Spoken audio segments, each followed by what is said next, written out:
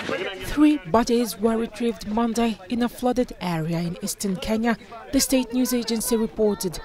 The bodies are among the 23 passengers of a boat who had been reported missing. The vessel, carrying 41 people, capsized late Sunday. The head of the coast region at the Kenya Red Cross urged caution.